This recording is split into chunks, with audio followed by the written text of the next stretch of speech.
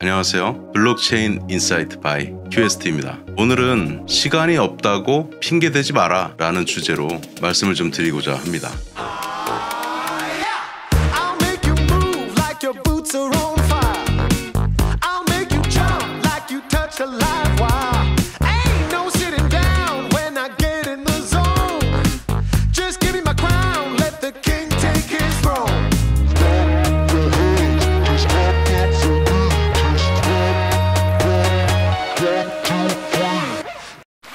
시간은 금이다. 뭐 이런 유명한 격언이 있죠. 제가 시간에 대해서 강조하는 이유는 중고등학교를 다닐 때 특히 고3 때는 공부를 정말 열심히 할 수밖에 없잖아요. 저는 뭐 학력고사 시험을 마지막으로 친 세대이지만 93학번이니까요. 그런데 이제 대학교를 들어가면 어, 일단 공부를 그렇게 열심히 하진 않다가 나중에 이제 회사에 취업할 때 영어 공부든 또 여러 가지 상식 공부든 하게 됩니다. 그런데 이제 대부분의 경우는 이제 직장에 취업하는 경우가 많게 되는데 공부에서는 아예 손을 떼는 경우가 대부분인 것 같습니다. 그러다 보니까 예를 들어서 똑같이 회사에 입사를 하고 뭐 20년 뭐 25년 이렇게 근무를 하고 나와서 그 출발점은 거의 비슷했거든요. 그런데 결과들이 많이 달라지는 그런 경우들을 볼 수가 있게 됩니다. 그런데 그 결과가 매우 큰 차이로 벌어지게 되는 그런 상황을 많이 볼 수가 있는데요. 어, 예를 한 가지 들어보겠습니다. 저는 이제 출근할 때 전철을 타고 다닌 경우도 있었고 자차로 출근한 경우도 있었는데요. 일단 전철의 예를 들어볼게요. 전철 같은 경우는 한번 이제 타보면 한 칸에 보통 제가 정확히 세어본 적은 없습니다만 대략 한 100명 정도는 탑승을 하는 것 같아요.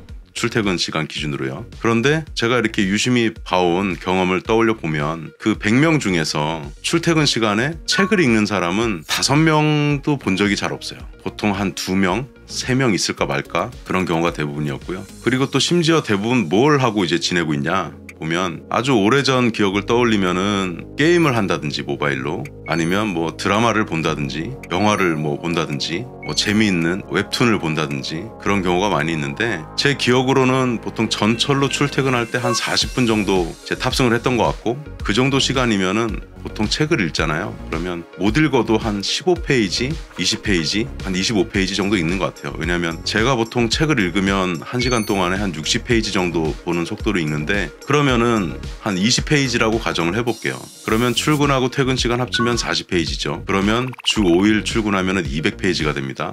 4주를 곱하면은 2, 4, 8 하면 800페이지가 되죠. 어지간하게 좀 교양서나 뭐 경제 관련 서적이나 그런 공부할 만한 책들은 350페이지 정도 되는 책들이 많이 있고 개 중에 두꺼운 책들이 500페이지가 넘어가는데요. 그러면 출퇴근 시간에만 책을 꾸준히 읽어도 한 달에 두 권 정도 읽을 수 있다는 결론이 나오고 저도 직장 생활할 때는 사실 한 달에 한 두 권 정도 읽는 페이스로 읽었었거든요. 그러면은 두 권이면은 1년 이면은 몇 권이죠? 24권이 됩니다. 그리고 10년이면은 240권이 돼요. 그리고 20년이면은 480권을 읽은 셈이 됩니다. 자, 그러면 20년을 놓고 가정을 해볼게요. 꾸준하게 그렇게 매월 책을 가까이 했던 사람은 약 480권의 책을 읽게 되는데 어떤 사람은 한 1년에 책을 뭐한 다섯 권도 안 읽었다. 그러면은 뭐 몇 권 되지 않죠. 그래서 책을 읽으면서 인생을 좀 바꿀 수 있는 그런 여러 가지 지혜를 얻을 수 있지 않나. 그리고 최근에는 반드시 책을 읽지 않더라도 유튜브에도 보면은 좋은 영상들이 너무도 많이 올라와 있어요. 저도 최근에는 유튜브를 통해서 공부를 많이 하고 있고 그런 이제 좋은 지식 채널을 만들어 주시는 그 유튜버 분들에게 감사한 마음을 갖고 있습니다.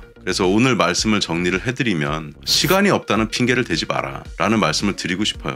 여러분들의 인생을 바꾸는 데 있어서 책은 그 무엇보다 중요한 역할을 하는 요소가 되니까 너무 제가 이렇게 꼰대처럼 잔소리하는 것 같지만 정말 드리고 싶은 말씀이에요. 책은 여러분들의 인생을 바꿔 드릴 수 있으니까 오늘의 말씀을 마무리하면 시간이 없다는 핑계를 대지 마라. 주요한 화두로 오늘 말씀드리면서 여기까지 블록체인 insight by QST였습니다. 감사합니다.